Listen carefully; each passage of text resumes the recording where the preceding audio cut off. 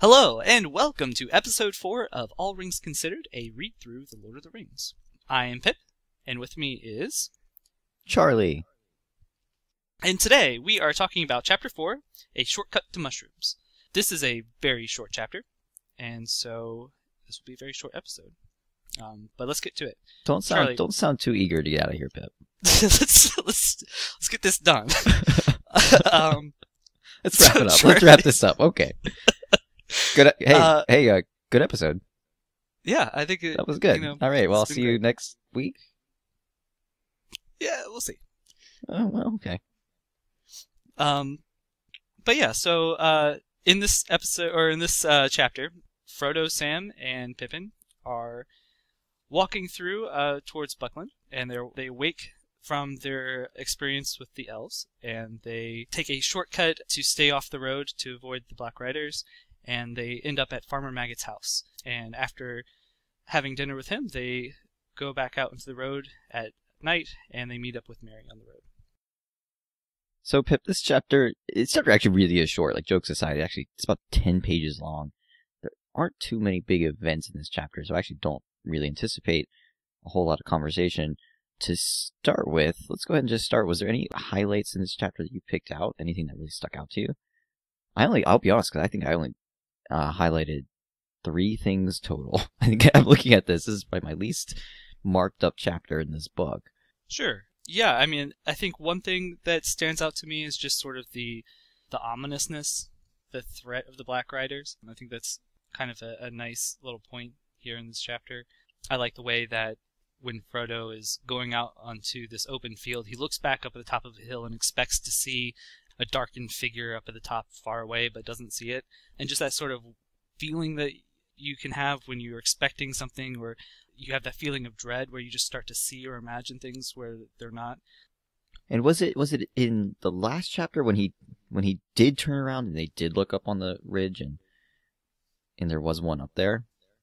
I, I know last I think actually it was in this chapter. Okay, because I just remember last episode we didn't discuss the riders very much, but that was like one image. What are you? I think that was last chapter though. I don't. Maybe. Um, I'm not really sure. If so, I totally missed highlighting it. But yeah, there is something.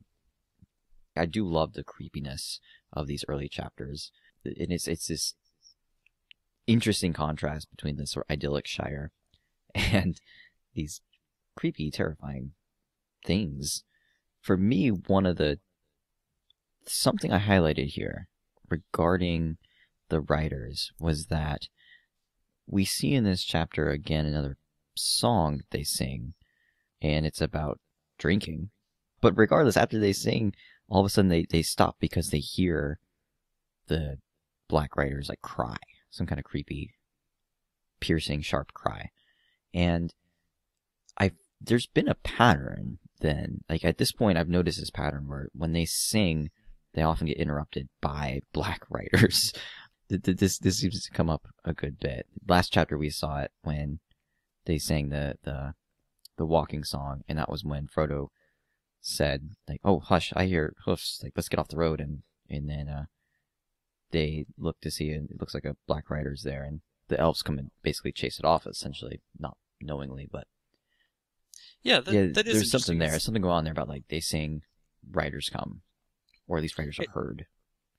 It's as if the merriment itself is something that wounds these riders, and it almost But know, almost seems to be a- them as a, a But it almost is more attracting them, though. Yeah, or at least I- like But I mean, sort of like in the way that it's an affront to them, in a way, so that it's Hmm. it kind of almost demands a response. Oh, okay. Yeah, I see what you mean. Yeah. One thing I just thought about with this question of the songs and the Black riders and what you just said about the songs sort of offending them and wounding them, there is a possible parallel here to the old English epic poem Beowulf, where the monster Grendel is said to be offended by the singing that goes on in the hall of the men, and that's what drives him to attack them.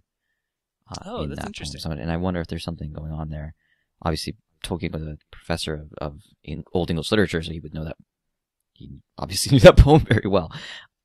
Yeah, we'll have to keep a lookout the next time that there's some singing or, or poems going on.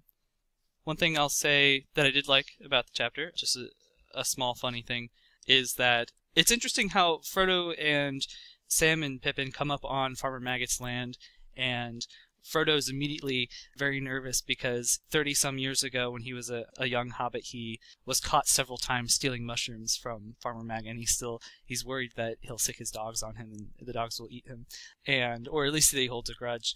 And it's actually it's it's funny when it happens, and then but I think it actually says something interesting, sort of about the theme of the transition that they're making right now, where they get to Farmer Maggot's house and he you know, remembers Frodo and he kind of jabs, you know, makes fun at him for, you know, be about the mushrooms. And uh, Farmer Maggot has, you know, hosts the hobbits and gives them beer and dinner. And it's kind of a nice transition from the sort of things that used to concern the hobbits in, in the Shire to things that are more serious. Farmer Maggot doesn't really care about you know a, a young hobbit stealing mushrooms 30 years ago because things that used to conflicts the hobbits used to be accustomed to are now sort of irrelevant. They're dealing with bigger things. Hmm. Yeah, I like that. Yeah. Well, um, with that, I don't really have much more to say about this. Do you want to just dive into favorite lines and then wrap it up? Sure, let's do that. So I think my favorite line is that line about that you mentioned about the cry of the Black Rider. It's a long drawn wail came down the wind, like the cry of some evil and lonely creature. It rose and fell and ended on a high piercing note. Even as this, they sat and stood, as if suddenly frozen, it answered by another cry, fainter and further off, but no less chilling to the blood. And I think just think that's very, I don't know, very creepy. Um, yeah. It seems. I mean, it's it's they do a great deal about it not being. It's not a ferocious battle cry. It's some sort of unearthly, mysterious, and ominous thing. I, I quite like that about how the rider's being characterized. Yeah, thanks. And what about you, Charlie? What's your favorite line? Yeah, my favorite comes. It's actually a little paragraph that Sam says when Frodo asks him if he still feels the need to leave the Shire now that he has already seen some elves, and before it was established that his only, or at least his his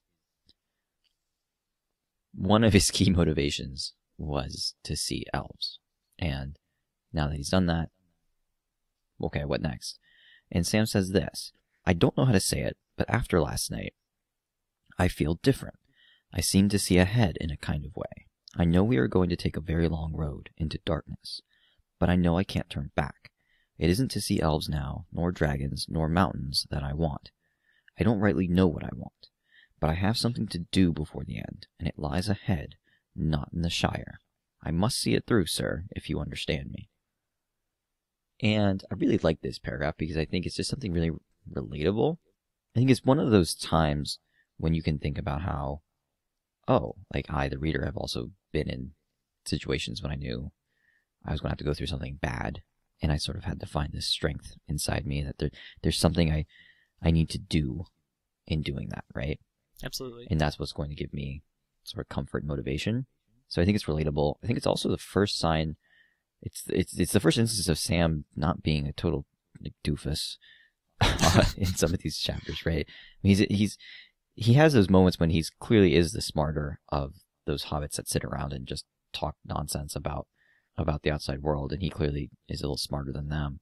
But otherwise, he's often portrayed as kind of silly and, and dopey, and so it's nice for him to get this moment when he has he, he's well spoken and he has a lot of strength and it's sort of a sign of things to come, I think, because as the book goes on, he he clearly becomes a lot less dopey uh, right. and much more admirable.